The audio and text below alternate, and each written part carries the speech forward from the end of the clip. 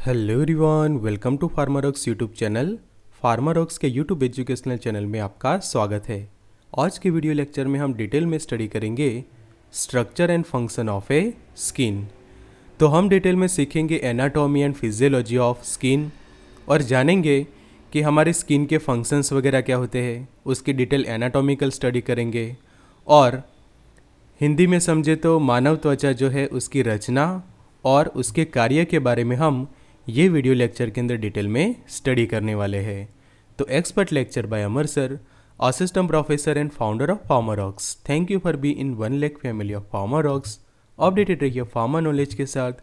Access करिए study material test series and the video lecture on app Pharmarox तो अगर आपके पास एंड्रॉयड फ़ोन है तो डाउनलोड करिए फार्मारॉक्स का एंड्रॉयड एप्लीकेशन और अगर आपके पास आईफोन है तो ऐप स्टोर पर से भी उसको डाउनलोड कर सकते हैं। लिंक आपको डिस्क्रिप्शन बॉक्स के अंदर मिल जाएगी।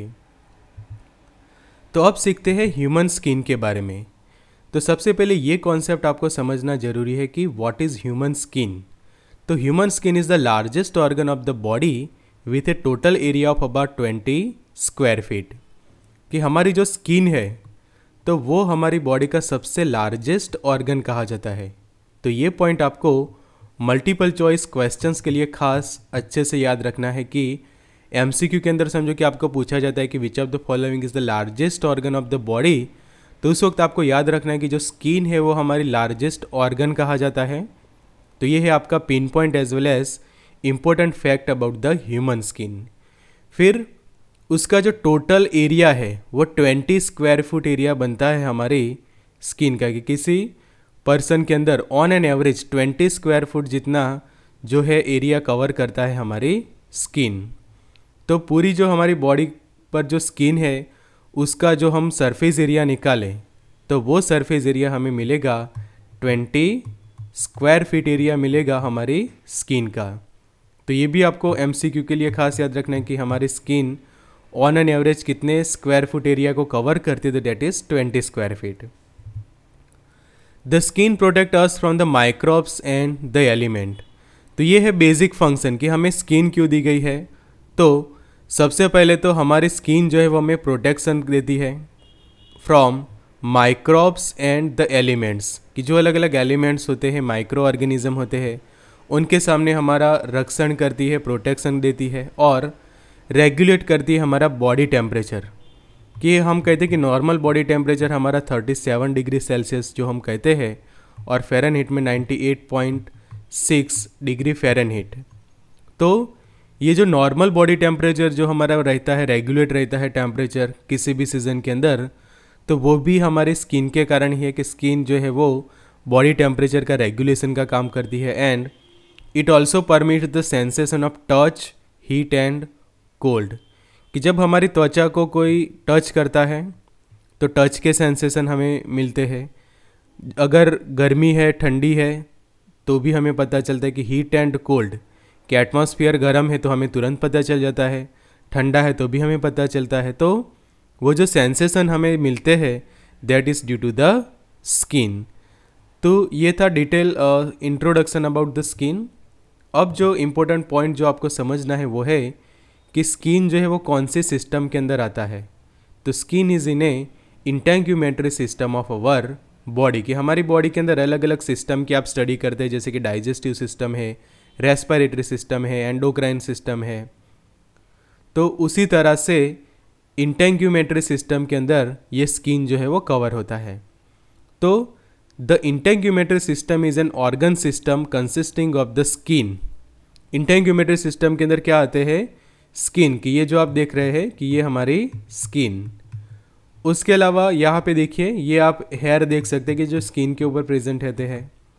तो hair is also a part of a integumentary system. फिर जो हमारे नेल होते हैं, नाखून वगैरह, वो भी इंटेग्यूमेट्री सिस्टम के हैं। And exocrine gland.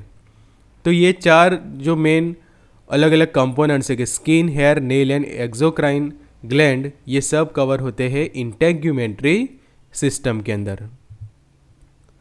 The skin is only a few millimetre thick yet is by far the largest organ in the body कि आप समझो कि थिकनेस निकालोगे स्किन की तो थिकनेस के अंदर आपको फ्यू मिलीमीटर्स के अंदर आपको उसकी वैल्यू मिलेगी कि ना ही वो सेंटीमीटर में है, ना ही वो इंच में है। फ्यू मिलीमीटर्स की लेंथ है उसकी और थिकनेस है उसकी और उसका समझो कि हम सरफेस एरिया निकालें। तो जो प्रीवियस स्लाइड के अंदर हम देखा, उसके अकॉर्डिंग टू स्किन का जो सरफेस एरिया है, वो होता है अराउंड ट्वेंटी स्क्वायर फीट तो ये सरफेस एरिया के ऊपर आप ध्यान रखें तो ट्वेंटी स्क्वायर फुट जितना एरिया बनेगा हमारी स्किन का और वेट हम देखें। तो टोटल वेट कितना ऑक्यूपाई करती है हमारी बॉडी का तो around the ten pound ten pound जितना जो वेट है, वो कवर करती है हमारी स्किन। तो आगे समझते हैं लेयर्स के बारे में कि स्किन के अंदर कितने लेयर्स होते हैं। तो skin has a three layer. सबसे पहले ये जानना ज़रूरी है कि टोटल कितने लेयर में बना है हमारा स्किन। तो उसके तीन मेन लेयर हम देखें। तो यहाँ पे डायग्राम में आप देख सकते हैं कि ये जो फ़र्स्ट लेयर है, that is epidermis. The epidermis the outermost layer of the skin provide a waterproof barrier and create our skin tone जो स्किन टोन तैयार होता है तो ये वाला जो सबसे आउटर मोस्ट लेयर है, वो और जिसको हम कहते हैं एपिडर्मिस तो वाटर प्रूफ बेरियर ये पॉइंट खास याद रखिए कि MCQ के लिए आपका ये पॉइंट काफ़ी इंपॉर्टेंट बन सकता है कि which of the following is the provide waterproof barrier and create our skin tone तो कौन सा लेयर ये प्रोवाइड करता है? वाटर प्रूफ बेरियर तो सबसे बाहर का एपिडर्मिस का जो लेयर वो वाटर प्रूफ बेरियर हमारे लिए तैयार करता है। सेकंड जो है वो नीचे वाला दैट इज़ कि डर्मिस तो dermis that means beneath the epidermis मतलब कि एपिडर्मिस के नीचे जो दूसरा लेयर है, कि ये फ़र्स्ट एपिडर्मिस और उसके नीचे आया हुआ ये second layer that is dermis जिसको कई बार डर्मा भी कहा जाता है डर्मिस या वीर derma. Contents the tough connective tissue ये पॉइंट खास याद रखें कि कौन से टाइप के कनेक्टिव टिश्यू उसके पास है?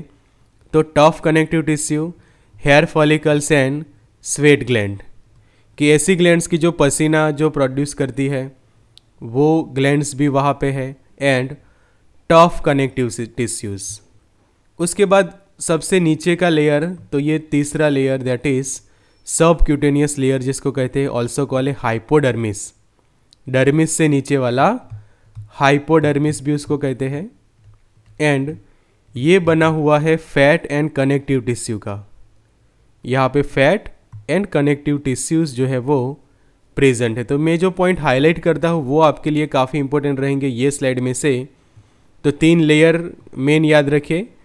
जिसमें वाटर प्रूफ बेरियर कौन सा है, वो आपको याद रखना है तो वो हो गया एपिडर्मिस उसके बाद sweat gland and tough connective tissue कौन से लेयर में है तो वो है डर्मिस के अंदर, और डर्मिस को हम डर्मा भी कहते हैं। और तीसरा लेयर की जिसको हम कहते हैं सब क्यूटेनियस लेयर और दूसरा दूसरा नाम हाइपोडर्मिस और ये हाइपोडर्मिस बना हुआ है फैट एंड कनेक्टिव टिश्यू का। तो ये पॉइंट आपके लिए मोस्ट आईएमपी है, ये स्लाइड में से। आगे और अब डिटेल में जानते हैं स्किन को तो अब समझते हैं उसके कंपोनेंट्स को। तो ये वाले डायग्राम के ऊपर आप ध्यान रखें कि अभी जो हम देख रहे हैं तो स्किन के ऊपर देखिए, यहाँ पे पोर लिखा हुआ है। मतलब कि छोटे छोटे जो पोर्स होते हैं, छिद्र होते हैं हमारी स्किन के ऊपर तो वो पोर फिर यहाँ पे हेयर फॉलिकल्स होते हैं हेयर आप देख सकते हैं। फिर स्ट्रेटम कॉर्नियम करके यहाँ पे लिखा है तो वो हमें समझना है। तो stratum corneum is the outer layer of the skin, कि एपिडर्मिस जो है हमारा, उसी के अलग अलग पार्ट्स पड़ते हैं। तो उसमें से ये स्ट्रेटम कॉर्नियम हम यहाँ पे देख सकते हैं। It serve as a primary barrier between the body and environment अब यहाँ पे देखिए, ये स्किन का सबसे बाहर का लेयर स्ट्रेटम कॉर्नियम। ये ऊपर की ओर है हमारा एनवायरमेंट और नीचे की ओर हमारे बॉडी के अलग अलग पार्ट्स हैं।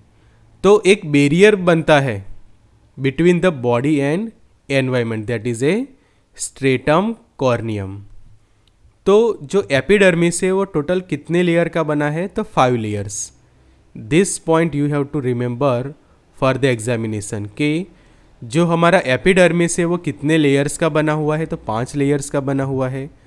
पहला है, वो है stratum basale, stratum spinosum, stratum granulosum, stratum lucidum and stratum corneum.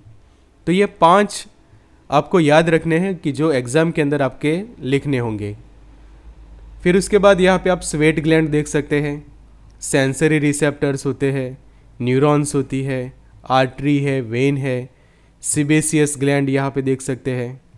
कि ये सिबेसियस ग्लैंड की जो ऑयल ग्लैंड भी हम कहते हैं, ये हेयर फॉलिकल्स यहाँ पे जो फैट टिश्यूज़ देख सकते हैं, जिसको एडिपोज टिश्यू हम कहते हैं, ये डर्मा मतलब कि डर्मिस एपिडर्मिस एंड ये है एरेक्टर पीली मसल्स कि जो मसल्स भी होते हैं कुछ हमारे स्किन के अंदर तो ये मसल्स तो अब समझिए पोर्स कि यहाँ पे लिखा है पोर तो pore are pores are a small openings small openings in the skin that release the oil and sweat अब हमें पता है कि हमारी बॉडी पर पसीना होता है, कई बार ऑयली सब्सटेंस भी बाहर निकलते हैं तो वो कहाँ से निकलते हैं? तो ये जो पोर्स होते हैं, वो पोर जो है वो रिलीज़ करते हैं, ये ऑयल एंड स्वेट वगैरह, क्योंकि पसीना भी वहाँ से बाहर आता है।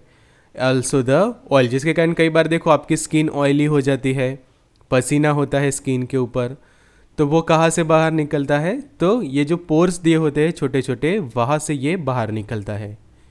They are also connected to our hair follicles अब यहाँ पे देखिए डायग्राम्स के अंदर ये हेयर फॉलिकल्स है और ये वाले पोर। तो पोर जो है, वो हेयर फॉलिकल्स के आसपास ही होते हैं, कई बार वो दोनों एक दूसरे के साथ कनेक्टेड भी होते हैं। जैसे कि आप यहाँ पे जो डायग्राम के अंदर नज़र डालिए तो ये वाला हेयर फॉलिकल और पोर एक दूसरे के साथों साथ है, नज़दीक नज़दीक। यहाँ पे भी ऐसा है। फिर ये जो पोर और हेयर फॉलिकल दोनों एक दूसरे के साथ है, यहाँ पे भी इस तरह से तो कनेक्टेड रहते हैं कई बार एक दूसरे के साथ या फिर सेपरेट भी होते हैं। अब जानिए हेयर फॉलिकल्स क्या है। तो यहाँ पे जो डायग्राम में आप देख सकते हैं हेयर फॉलिकल तो यहाँ पे डर्मा के अंदर उसका आप रूट देख सकते हैं। कि यहाँ से ये हेयर फॉलिकल का रूट है, उसका बेस है और ये धीरे धीरे ऊपर की ओर यहाँ एपिडर्मिस से होकर हमारी जो त्वचा के बाहर की ओर निकलता हुआ देख सकते हैं हम। तो hair follicle is a tunnel shape जैसे कोई टनल होती है, वैसे टनल शेप स्ट्रक्चर बनता है उसका इन द एपिडर्मिस कि जो हमारा आउटर लेयर है, हमारे स्किन का and hair start growing at the bottom of the hair follicle, in dermis. तो ये तो हम एपिडर्मिस में तो उसका बाहर का पार्ट देख सकते हैं बट उसके रूट कहाँ पे है? उसका बॉटम पोर्सन कहाँ पे है? तो वो पड़ता है डर्मा के अंदर की, जिसको हम डर्मिस भी कहते हैं।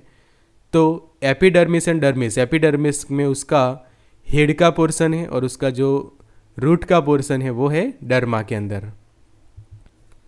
हेयर फॉलिकल्स के बाद इम्पोर्टेंट कोई स्ट्रक्चर है कंपोनेंट है हमारे स्किन का तो वो है स्वेट ग्लैंड कि जब स्किन के स्ट्रक्चर को आप डिटेल में समझते हैं, उसकी एनाटॉमी को समझते हैं तो स्वेट ग्लैंड को कभी भी मिस नहीं करना चाहिए बिकॉज़ ये इम्पोर्टेंट है जो स्किन के फ़ंक्शन की जो रेगुलेट करती है टेम्परेचर तो स्किन जो का जो फ़ंक्शन है, हमें पता है कि रेगुलेट करती है बॉडी टेम्परेचर को तो उसके लिए जो उसको मदद करती है कोई ग्लैंड तो that is a sweat gland.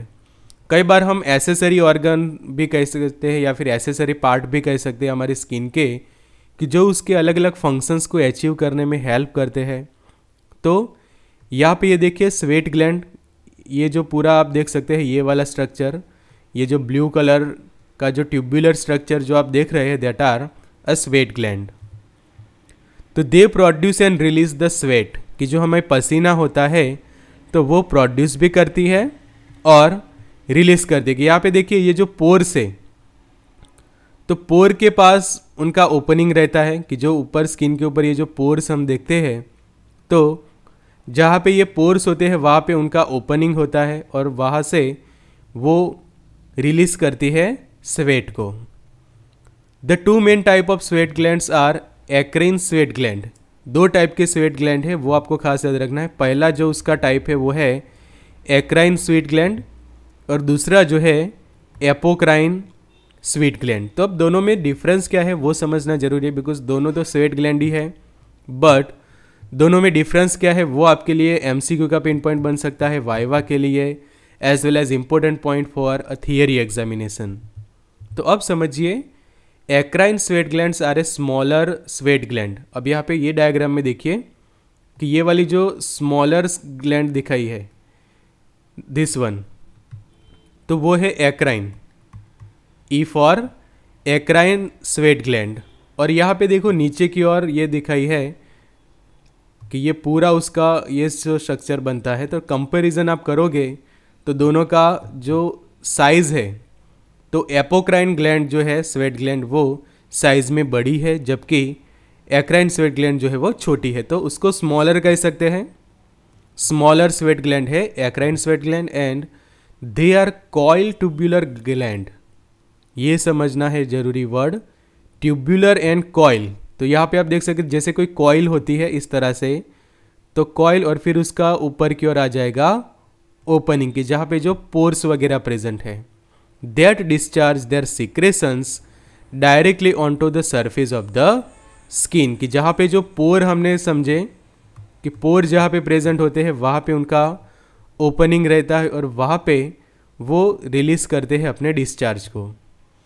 The major sweat gland of the human body found in virtually all skin skin के सभी एरियाज़ के अंदर ये एक्राइन स्वेट ग्लैंड जो है वो देखी जाती है and produce a clear produce a clear odourless substance अब यहाँ पे समझिए कि जो एक्राइन ग्लैंड होती है, उनका जो सिक्रेशन होता है, उसमें कोई बदबू वगैरह नहीं होती।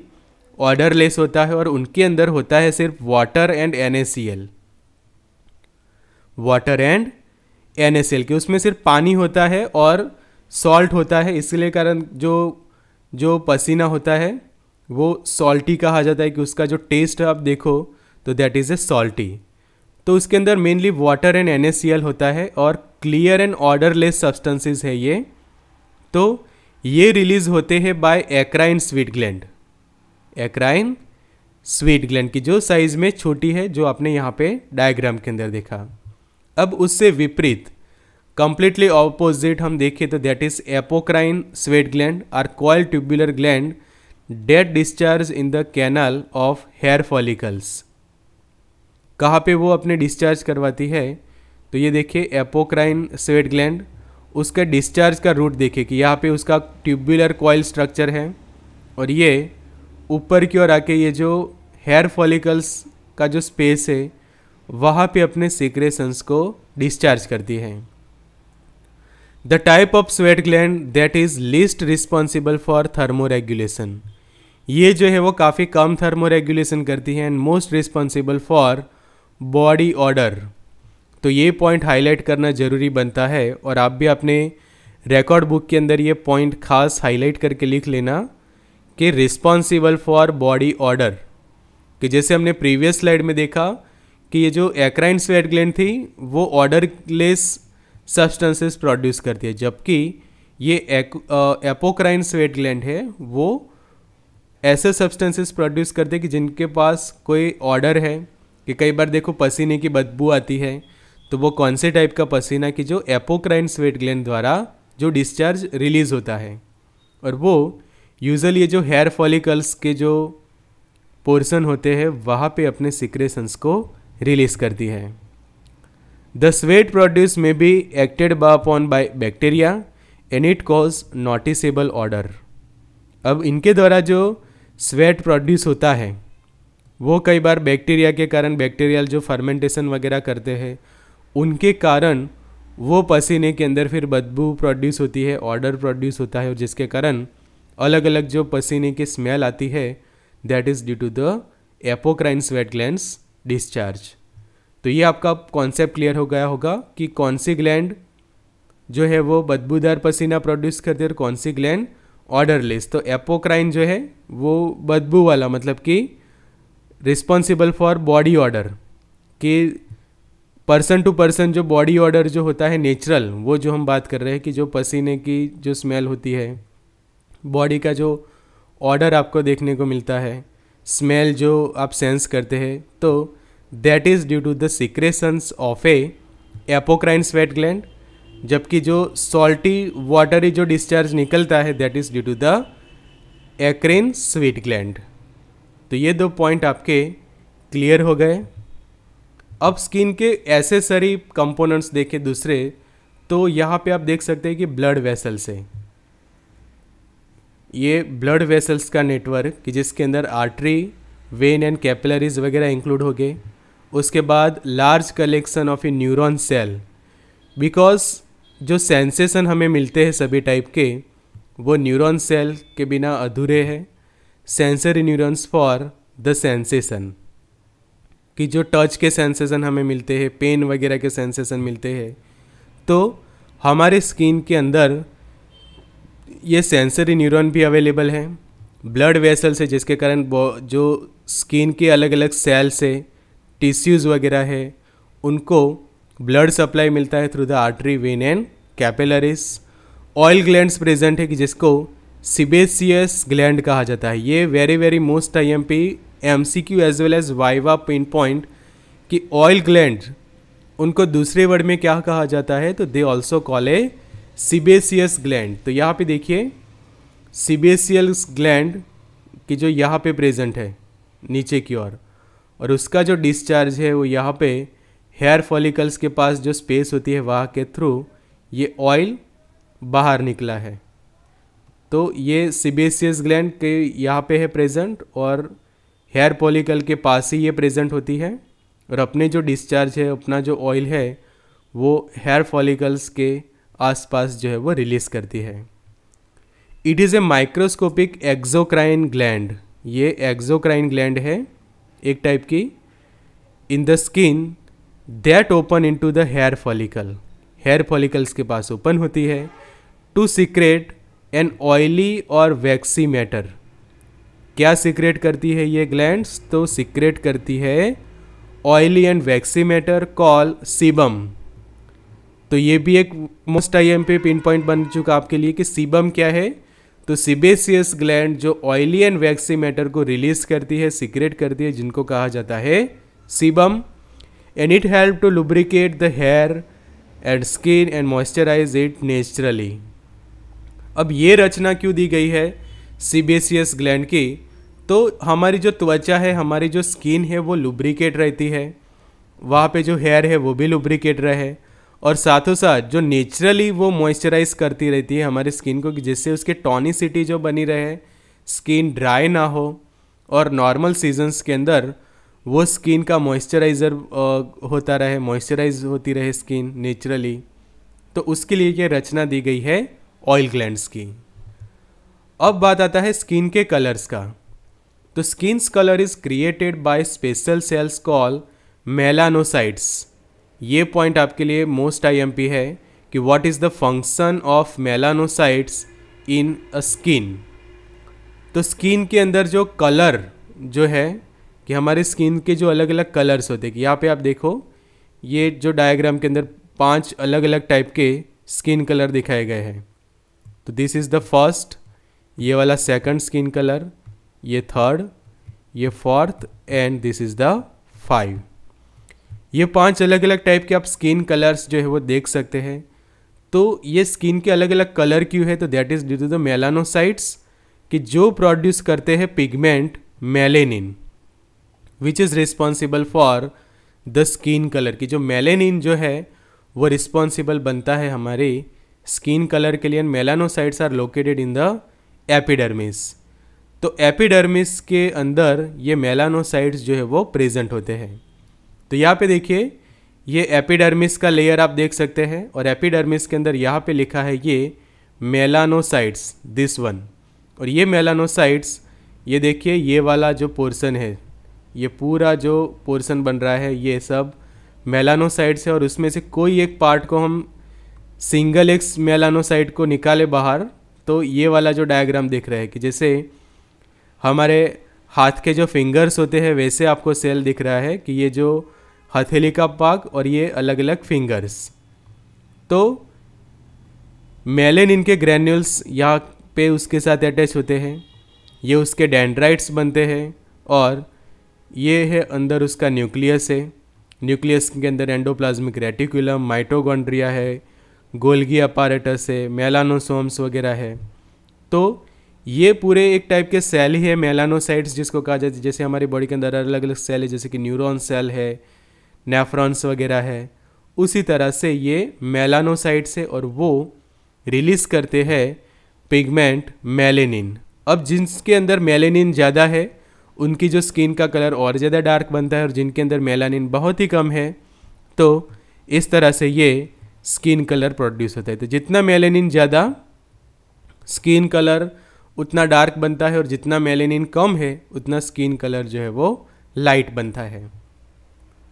तो यहाँ तक हमने समझ लिए प्रॉपर एनाटोमी मतलब कि स्ट्रक्चर समझ लिए स्किन के और उसके डिटेल एनाटोमी।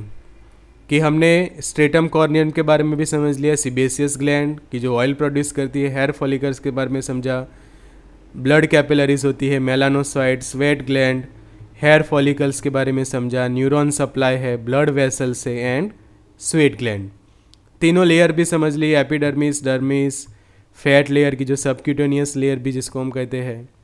तो अब जो बात आती है वो है अब फ़ंक्शंस को जानना कि स्किन के मेन फ़ंक्शंस वगैरह क्या है? तो प्राइमरी फ़ंक्शन सबसे पहले हम समझे तो primary function of the skin is the act as a barrier and the skin provide the protection from mechanical impacts mechanical impact अब यहाँ पे जो बाजू में डायग्राम है, उसके ऊपर आप ध्यान रखिए कि सबसे पहले आप भूल जाइए कि ये वाला स्ट्रक्चर है ही नहीं। ये वाला अवेलेबल ही नहीं है। तो सबसे पहले तो ये समझो कि स्केलेटन है, कि जो हमारे बॉन्स है। अब बॉन्स जो है वो हमारे ब्रेन वगैरह है, फिर जो इंटरनल ऑर्गन है उसको प्रोटेक्ट करते हैं। बट समझो कि बॉन और ये दोनों कंबाइन हो गए तो इस टाइप का स्ट्रक्चर हमें देखने को मिलेगा, या फिर दोनों का कॉम्बिनेसन बट समझो कि बाहर की ओर स्किन नहीं होगी तो वो जो ऑर्गन्स है वो डायरेक्टली एटमॉस्फेयर के कांटेक्ट में आएँगे एनवायरनमेंट के कांटेक्ट में आएँगे।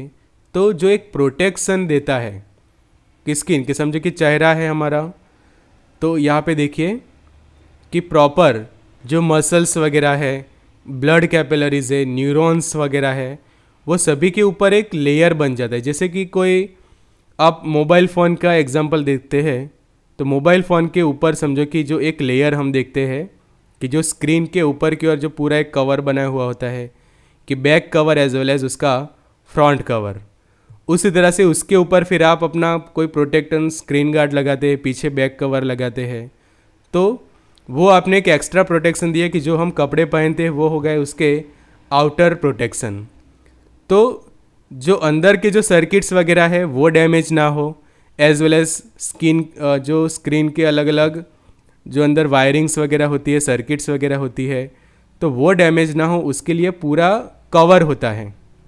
कि नॉर्मल किसी भी मोबाइल फ़ोन या फिर किसी भी जो हम चीज़ को यूज़ करते हैं, लाइक लैपटॉप भी आप यूज़ करते हैं, किसी कंप्यूटर को यूज़ रहे हैं, टेलीविज़न को यूज़ कर रहे हैं, इवन व्हीकल्स के ऊपर भी आप देखते हैं कि व्हीकल्स के अंदर भी जो पूरा इंजन होती है, मशीनरीज होती है, उसके ऊपर पूरा एक लेयर होता है, इलेक्ट्रॉनिक्स के सामान देखे तो जो भी कवर बनता है। Body cover. ये खास समझिए, ये पॉइंट बॉडी कवर। तो स्किन जो है वो हमारे लिए काम करती है function as a body cover कि जैसे पूरे बॉडी को अच्छे से कवर करता है तो वो है स्किन और जिसका हमने देखा कि टेन पाउंड जितना उसका वेट बनता है एंड ट्वेंटी स्क्वायर फीट जो है वो उसका एरिया बनता है। तो ऐसा नहीं कि किसी भी ऐसे ऑर्गन या फिर ऑर्गन सिस्टम नहीं है कि जिसके ऊपर पूरा स्किन का प्रोटेक्टिव लेयर ना हो। तो मिकेनिकल इम्पैक्ट्स जो आते हैं कि कई बार कोई इम्पैक्ट्स लाइक कि आप कई जगह पे ट्रैवल कर रहे हैं तो समझो कि जो इम्पैक्ट्स होते हैं, कि किसी चीज़ से आप टकराते हैं तो आपको समझो कि आउटर स्किन के ऊपर थोड़ा माइनर इंजरी होगी बट इंटरनल ऑर्गन्स जो है वो डैमेज होने से बच जाते हैं। मैकेनिकल कोई प्रेशर्स आता है तो वो सबसे पहले हमारी स्किन जो है वो वो टॉलरेट करती है। वेरिएशंस इन टेम्परेचर कि टेम्परेचर इंक्रीज़ हो डिक्रीज़ हो तो उसकी असर सबसे पहले स्किन के ऊपर होती है। माइक्रो ऑर्गेनिज्म भी सबसे पहले स्किन को ही टारगेट करेंगे। Radiation and also the chemical तो ये सभी के सामने रेडिएशन है केमिकल है, वो सभी के सामने प्रोवाइड करती है protection to the internal organs and internal body parts की। जितने भी इंटरनल ऑर्गन्स है इंटरनल बॉडी पार्ट्स है, वो सभी को प्रोटेक्शन प्रोवाइड करती है सभी चीज़ों से और काम करती है as a barrier protective barrier का काम करेगी। दूसरे फ़ंक्शन देखें तो उसका रेगुलेशन का है। प्रोटेक्शन उसका एक फ़र्स्ट फ़ंक्शन हुआ कि हमें रक्षण देता है। रक्षण के बाद दूसरा बात आता है, वो है रेगुलेशन नियमन करना। कि टेम्परेचर जो है वो हमारी बॉडी का जो तापमान का नियमन करता है तो वो भी स्किन है। तो skin regulates the several aspect of physiology includes the body temperature via sweat hair and changes in the peripheral circulation and fluid balance via sweat तो उसका पूरा मिकनिज़म साइड में जो आप डायग्राम के अंदर देख सकते कि बॉडी टेम्परेचर को रेगुलेट करवाती है। स्वेट ग्लैंड के थ्रू हेयर है पेरिफेरल सर्कुलेशन में जो चेंज होता है and also act as a reservoir for the synthesis of vitamin D vitamin D के सिंथेसाइज के लिए भी वो रिजर्वायर का काम करती है। तो यहाँ पे देखिए, हमारा जो ब्रेन है, वहाँ पर वहाँ पे पोर्सन है हाइपोथैलेमस आपको पता है। तो हाइपोथैलेमिक जो पूरा नियमन है बॉडी टेम्परेचर का रेगुलेशन में तो उसके अंदर स्किन के जो कंपोनेंट है, उसके एसेसरीज है, वो हेल्प करती है। तो समझो कि फेरी के अंदर कोल्ड है तो उस वक्त जो कैपिलरीज होती है हमारे स्किन के अंदर रही, वो कंस्ट्रिक्टेड हो जाती है, कि जिसको हम कहते हैं vasoconstriction and near the skin surface to conserve the heat heat को कंजर्व करने के लिए जब बाहर ठंड होती है और हमारी बॉडी के अंदर हीट को कंजर्व करके रखना है तो उस वक्त ये कैपिलरीज का कंस्ट्रिक्शन होता है and sweat secretion cease and hairs stand up and trapping insulating layer of skin उस वक्त देखिए, हमारे जो हेयर है, वो स्टैंड अप जैसे हो जाते हैं और जो लेयर होते हैं, वो सीज हो जाते हैं। स्वेट सिक्रेशन कम हो जाता है, जिसके कारण जो टेम्परेचर जो है, वो मेंटेन रहता है नॉर्मल बॉडी टेम्परेचर उसी तरह से बाहर समझे कि पेरीफेरी में टेम्परेचर ज़्यादा है तो कैपिलरीज जो पहले कॉन्ट्रैक्शन में थी, वो अब डायलेट हो जाएगी and skin surface to lose heat to the environment अब बाहर गर्मी है तो आपका शरीर भी गर्म ना हो, इसलिए हमारी बॉडी जो है वो हीट रिलीज़ कर देती है और उस वक्त स्वेट ग्लैंड क्या करती है begins to secrete and causing the heat loss by evaporation कि इवापोरेशन की जो प्रोसेस है, कि बाष्पीभवन जो हम कहते हैं इवापोरेशन जो कहते हैं वेपोराइजेशन जो हो जाता है तो उसके थ्रू जो पसीना हमारी बाहर बॉडी में से बाहर निकलता है एंड ये प्रोसेस प्रॉपर रेगुलेट होती रहती है by hypothalamus of the brain और उसमें ये स्किन हेल्प करती है। तो यहाँ पे आपको M C Q pin point जो याद रखना है वो ये है कि जब पेरीफेरी में कोल्ड होता है मतलब कि ठंड होती है, उस वक्त प्रोसेस कौन सी होती है? तो वासो कंस्ट्रिक्शन होता है। एंड यहाँ पे क्या होता है? वासो डायलेशन होता है। मतलब कि ब्लड वेसल्स रिलैक्स होती है और यहाँ पे उनका कॉन्ट्रैक्शन होता है। यहाँ पे पसीना आना बंद हो जाता है। स्टॉप द स्वेटिंग एंड यहाँ पे स्टार्ट uh, होता है स्वेटिंग तो ये दोनों प्रोसेस आप समझ सकते हैं। जैसे आप देखो ठंड होती है तब हमें पसीना बहुत कम आता है और जैसे जैसे टेम्परेचर बढ़ते जाते हैं तो थोड़ा थोड़ा पसीना आना जो है वो स्टार्ट होता है। तो ये है कि हमारी बॉडी का जो ये सिस्टम है, वो टेम्परेचर को रेगुलेट करने का काम करता है। तीसरा इंपॉर्टेंट फ़ंक्शन देखें तो वो है सेंसेशन जैसे प्रीवियस दो स्लाइड्स के अंदर देखा तो एक काम हमने देखा कि स्किन करती है, हमें प्रोटेक्शन देती है। प्रोटेक्शन के बाद दूसरा उसका फ़ंक्शन था रेगुलेशन का। और रेगुलेशन के बाद उसका जो तीसरा फ़ंक्शन है दैट इज़ कि सेंसेशन कि जितने भी अलग अलग सेंसेशन है, वो हमें मिलते हैं बाय द स्किन तो यहाँ पे देखिए कौन से सेंसेशन है कि ऑर्गन ऑफ़ सेंसेशन तो skin contents the extensive network of nerve cell कि हमने जो उसकी एनाटॉमी के अंदर देखा स्ट्रक्चर के अंदर देखा, कि उसके पास न्यूरॉन सेल प्रेजेंट है that detect and relay the changes in the environment कि एनवायरमेंट में कोई चेंज होता है तो वो डिटेक्ट करते, आपको कोई इंजरी होती है तो डिटेक्ट करते, जिसके कारण जब आपको किसी जगह पे पेन होता है तो यहाँ पे देखिए, ये वाले क्लिप आर्ट के अकॉर्डिंग टू कि ये पेन दिखा रहा है।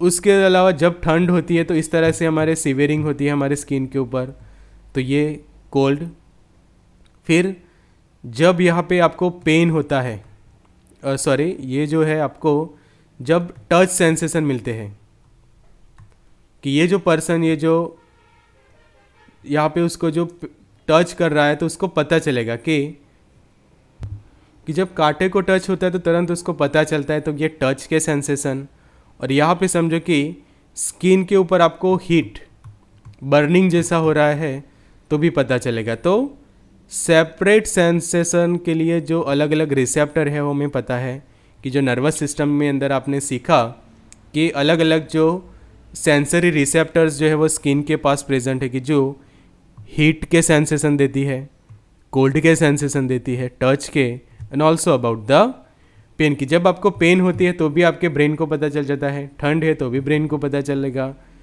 हीट मतलब कि गर्मी है एंड टच जब होता है तो भी उसको पता चलता है।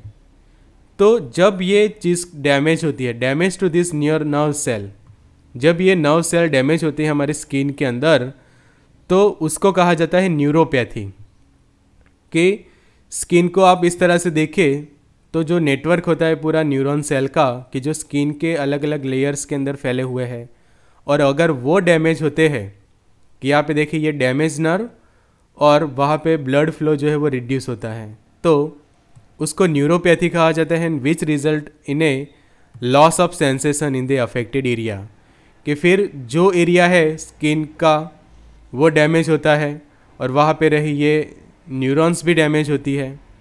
तो उसको न्यूरोपैथी कहते हैं, और जिसके कारण आपके जो सेंसेशन है वो कम हो जाते हैं, बंद हो जाते हैं कई बार of that particular area and patient with neuropathy में not feel the pain when they suffer injury, increasing the risk of severe wounding और the worsening of existing wound कि जो भी आपको वाउंड है वो और ज़्यादा ख़राब होते जाते हैं और ज़्यादा सफ़र करते हैं आप इंजरी वगैरह से and do not feel any type of pain किसी पेन को आपको पता ही नहीं चलता कोई सेंसेशन ही नहीं होते। तो ये डैम प्रॉब्लम होता है कि जब ये स्किन के अंदर रहे ये सेंसर्स की जो न्यूरॉन सेल्स है, वो डैमेज होते हैं। तो ज़रूरी है स्किन की केयर करना। तो always have to care the skin and avoid the various disease and damage of skin जैसे कि हम अलग अलग क्रीम वगैरह यूज़ करते हैं। विथ सप्लीमेंट्स वगैरह यूज़ करते हैं स्किन को अच्छे से रखने के लिए। फिर और लोशंस वगैरह यूज़ करते हैं। एंड कोई मेडिसिन वगैरह है कि लाइक कोई ऑइंटमेंट है। कि स्किन रिलेटेड कोई डिसीज़ हुई तो आप ऑइंटमेंट अप्लाई करते हैं, कोई क्रीम अप्लाई करते हैं। तो ये सब करना ज़रूरी है। तो सबसे इम्पोर्टेंट क्या है? स्किन केयर आप किस तरह से कर सकते हैं? तो स्किन केयर के लिए सबसे पहले ज़रूरी है क्लिनजिंग तो क्लिनजिंग के लिए देखो आप अलग अलग फेस वॉश कई बार यूज़ करते हैं। एज वेल एज कोई साबुन यूज़ करते हैं सोप यूज़ करते हैं। और सिंपल कोई आप हर्बल कोई ट्रीटमेंट लेते हैं तो उससे भी आपकी स्किन को अच्छे से क्लिनजिंग करवा सकते हैं कि कई बार हम देखते हैं कि बेसन वगैरह यूज़ करते हैं, हल्दी वगैरह यूज़ करते हैं तो उससे भी आप अच्छे से आपका फेस वॉश कर सकते हैं and not only the face but जितने भी हमारे स्किन है, उसकी केयर कर सकते हैं क्लिनजिंग कि हमारे स्किन को क्लीन रखना है अच्छे से। फिर सीरम विथ विटामिन सी कि विटामिन सी भी कई बार काफ़ी हेल्पफुल बनता है। स्किन के टॉनिसिटी के लिए, उसके हेल्दीनेस के लिए। मॉइस्चराइजर्स ज़रूरी है। सनस्क्रीन, लोशंस के समझे कि आपको धूप में ज़्यादा रहना पड़ता है तो उस वक्त स्किन केयर के लिए सनस्क्रीन यूज़ कर सकते हैं as well as personal hygiene सबसे इंपॉर्टेंट है कि जितना आप पर्सनल हाइजीन अपना मेंटेन करते हैं, आपकी स्किन जो है वो अच्छे से मेंटेन रहती है। तो जब कोई पर्सन स्किन को अच्छे से केयर नहीं करता पर्सनल हाइजीन नहीं रखता, कोई एक्सटर्नल फैक्टर्स जैसे कि वायरस है बैक्टीरिया है फंगल है पैरासाइट्स के कारण स्किन डिसीज़ होती है स्किन रिलेटेड इन्फेक्शंस होते हैं तो सबसे पहले आपकी स्किन जो है वो कई बार ड्राई होती है, फिर एक्जेमा होता है, कि वहाँ पे आपको एक्जेमा मतलब कि जो हम डर्मिटाइटिस कहते हैं, किस तरह से स्किन के ऊपर जो पैचेस डेवलप होना रेसिस डेवलप होना इम्पेटिगो कि यहाँ पे देखो छोटे बच्चों में कई बार ऐसे इम्पोटिगो जो है वो देखने को मिलता है। कि स्किन जो है वो इस तरह से होती है अलग अलग बॉडी पार्ट्स के ऊपर। सनबर्न होता है डर्मिटाइटिस होता है ईचिंग होता है, खुजली होती है वेरिकोज अल्सर्स होते हैं एंड सोराइसिस जैसा भी हमें देखने को मिलता है, जैसे रैसिस रेडनेस होती है ईचिंग होती है, खुजली होती है। तो ये सब डिसीज़ ना हो इसलिए ज़रूरी है कि स्किन की केयर करवाना। बिकॉज़ जो आपने एनाटॉमी सीखी फिजियोलॉजी सीखी आज anatomy of skin and physiological skin के अंदर, कि उसका स्ट्रक्चर एंड फ़ंक्शन तो हेल्दी स्किन रहना ज़रूरी है, इसलिए डिसीज़ ना हो, इसलिए प्रॉपर स्किन केयर करना ज़रूरी है, और अगर डिसीज़ होती है तो उसका इलाज भी करवाना चाहिए। तो ये भी ऑलरेडी हमारा एक लेक्चर अवेलेबल है कि स्किन डिसीज़ के ऊपर हमने बनाया था, कि स्किन डिसीज़ होते क्यों है, उसके सिम्टम्स क्या होते हैं मेडिसिन कौन से यूज़ होते हैं, किस तरह से ट्रीट किया जाता है। तो आज जो हम, आपने त्वचा के जो रचना और कार्य जाने तो जब त्वचा संबंधित रोग होते हैं तो उसका किस तरह से उपाय किया जाता है? किस तरह से ट्रीटमेंट किया जाता है वो भी आप फार्मा रॉक्स के लेक्चर्स के अंदर देख सकते हैं। लिंक आपको डिस्क्रिप्शन बॉक्स में मिल जाएगी। सो so, जो लेक्चर्स होते हैं फार्मा रॉक्स के उसके लिंक आपको डिस्क्रिप्शन बॉक्स में मिलेगी। एज वेल एज जो नोट्स है subject wise note PPT and PDF affordable price में फार्मा रॉक्स के ऐप ऊपर मिल जाएगी कि जो एंड्रॉयड एप्लीकेशन है गूगल प्ले स्टोर पे Apple iPhone app on App Store तो thank you for watching join कर सकते हैं व्हाट्सएप ग्रुप ये वाला व्हाट्सएप हेल्पलाइन नंबर है. एक्सेस करिए study material test series and video lecture on app Pharma Rocks so good luck and all the best